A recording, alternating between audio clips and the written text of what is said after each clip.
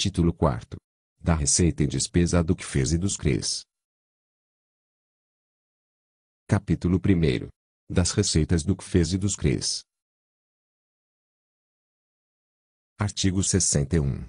Compete à Tesouraria do Conselho Federal de Serviço Social acompanhar as receitas devidas aos conselhos pelas pessoas físicas e jurídicas, propondo ao Pleno adoção de medidas e estratégias políticas, administrativas e legais que mantenham a sua capacidade de arrecadação. Parágrafo único. Compete à Tesouraria do CRES acompanhar e fiscalizar a receita devida ao regional pelas pessoas físicas e jurídicas, bem como repasse da cota parte devida ao que fez, propondo ao Conselho Pleno respectivo a adoção de medidas que mantenham a capacidade de arrecadação. Seção 1 das rendas. Artigo 62. Constitui receita do Conselho Federal de Serviço Social, nos termos do artigo 19 da Lei 8.662-93. Inciso 1. Contribuições, taxas, multas e emolumentos arrecadados pelos CREs, em percentual a ser definido pelo Fórum Máximo de Deliberação Encontro Nacional que fez barra CREs. Inciso 2. Rendas oriundas de mutações patrimoniais e locações de bens de qualquer natureza. Inciso 3. Doações e legados. Inciso 4. Outras rendas. Parágrafo 1.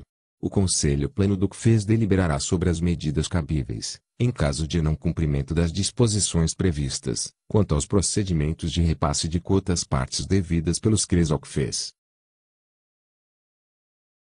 Parágrafo 2.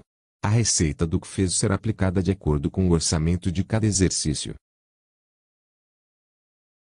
Artigo 63. Constitui receita dos Conselhos Regionais de Serviço Social. Inciso 1.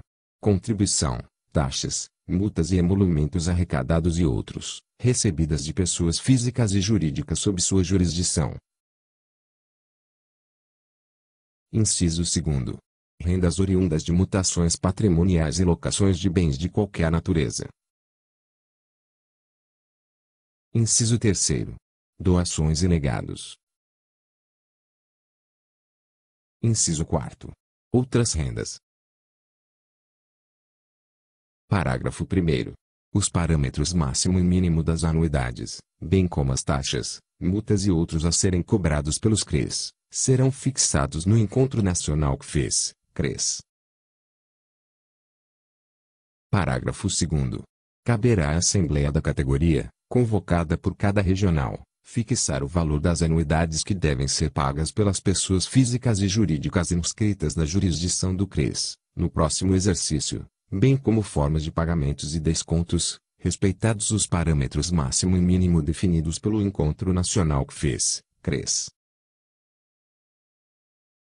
Parágrafo 3 a cobrança de anuidades, taxas e emolumentos é feita pelo sistema de cobrança compartilhada, a fim de assegurar o recebimento simultâneo dos percentuais pelo Conselho Federal de Serviço Social. Parágrafo 4 Fica vedado o recebimento de anuidades, taxas e multas na sede dos Conselhos Regionais de Serviço Social, devendo ser realizada, exclusivamente, por via bancária. Artigo 64. As aplicações financeiras devem ser realizadas nos bancos oficiais, sendo permitida aplicação em títulos do Tesouro Nacional e, ou caderneta de poupança. Artigo 65. Os conselhos regionais de serviço social ficam obrigados a cobrar e executar as contribuições devidas por pessoas físicas ou jurídicas, inscritas em seus quadros. Parágrafo único.